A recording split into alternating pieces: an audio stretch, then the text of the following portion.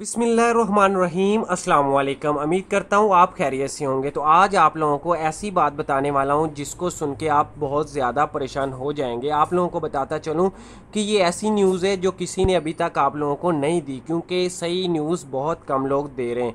तो मैं आप लोगों को बताता चलूँ कि जो भी नई अपडेट आती है, सबसे पहले हम अपने चैनल पर अपलोड कर देते हैं। वीडियो को आगे बढ़ाने से पहले एक छोटी सी रिक्वेस्ट अपने प्यारे से भाइयों से कि जो चैनल पर नए हैं, वो चैनल को सब्सक्राइब कर लें, बेल आइकन को दबाएँ और वीडियो को ज़्यादा से ज़्यादा शेयर करना है आप लोगों ने।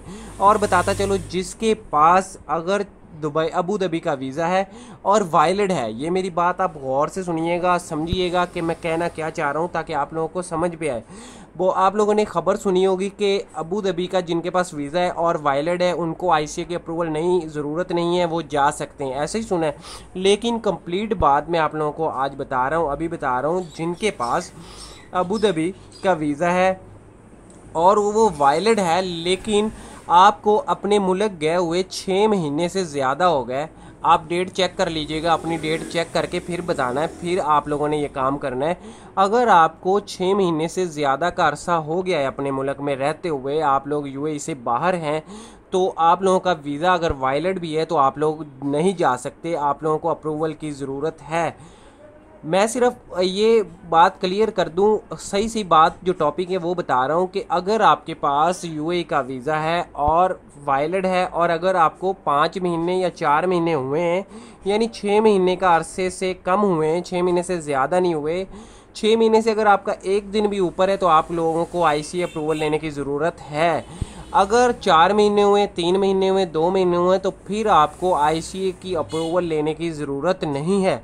ये बहुत सारे कमेंट्स आ रहे थे, बहुत सारे ईमेल्स आ रहे थे, ये कि मैसेज कर रहे थे लोग व्हाट्सअप वगैरह के ये बताएँ ये बताएँ, सर, हमें ये गाइड नहीं कर रहे सही। तो मैं आप लोगों को सही बता रहा हूँ, बिल्कुल ये सौ फ़ीसद रियल बात है। अगर आपके पास छः महीने से ज़्यादा आप लोग अपने मुल्क में रह रहे हैं तो आप लोगों को आईसी की अप्रूवल है। आप लोग लाजमी अप्लाई करते रहें, जब तक कि आप रिजेक्ट आपको कितनी बार भी रिजेक्ट कर रहे हैं, आप लोग अप्लाई करते रहें।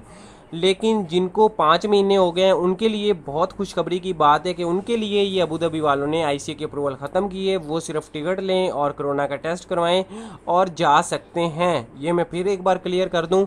लेकिन जिनके छः महीने से ऊपर हो गए, वो टिकट ना लें भाई। उनका नुकसान हो सकता है, उनकी टिकट के पैसे ज़ाया हो सकते हैं, क्योंकि उनको आईसीए की अप्रूवल लेनी पड़ेगी। ऐसा एक दो बंदों के साथ हो भी गया है कि उनको छः महीने से ऊपर हो गए हैं, ऐसे केसेस सामने आ गए हैं और उन लोगों ने टिकट ले लिए अब टिकट वापस तो आप लोगों को पता है कि कितना नुकसानदेह की होती है। तो ये मैं आप लोगों को बता रहा हूँ कि आप लोगों का नुकसान ना हो जाए।